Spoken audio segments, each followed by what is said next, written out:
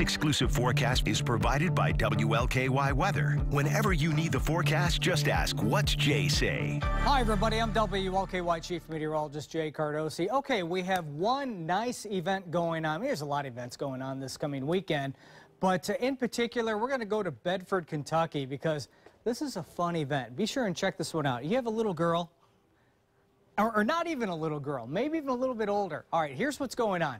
We have the Muddy Princess Outdoor 5K going on this coming Sunday, August 4th. Now it opens, the event does, 7 o'clock in the morning. The first wave goes off at 8 o'clock in the morning. This is an obstacle mud run. How fun does that sound? And this is for women only, all right?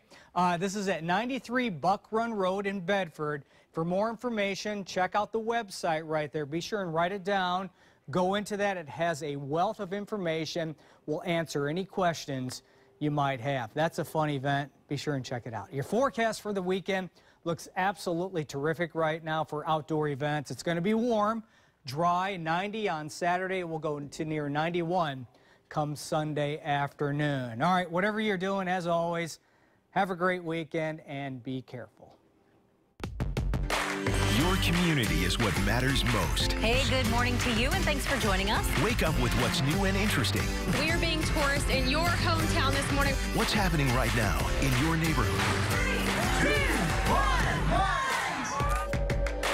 The important events right where you live. Alerts you won't want to miss. Heads up Jeffersonville, downtown Louisville. Wake up with your morning news leaders. WLKY. Live, local, late breaking.